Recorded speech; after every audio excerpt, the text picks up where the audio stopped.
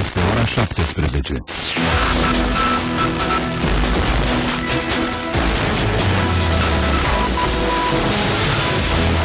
Bună ziua, sunt Eliza Ungureanu, bun găsit la știri. La această oră, reprezentanții Federației Sanitar discută cu cei Ministerului Sănătății după ce negocierile de ieri au rămas fără rezultat.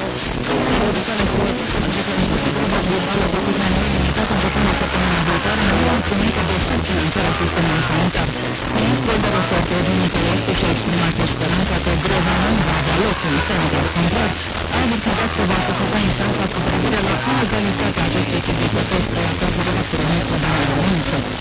Federațiile sindicale din transport directorul rutiere acuză guvernul de gestionare dezastruoasă a sistemului și avertizează că anularea măsurilor de redresare poate genera grave conflicte sociale. Într-un comunicat dat astăzi publicitatea, sindicaliștii denunță înghețarea salariilor de 5 ani a dimensiunilor infrastructurii feroviare și a serviciilor referite populației.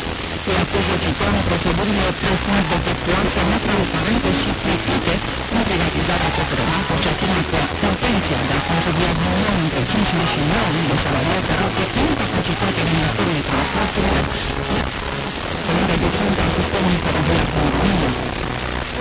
Noua Danica Bacnău are ședința șefului de măsime diplomatice în statul Uniunilor Europene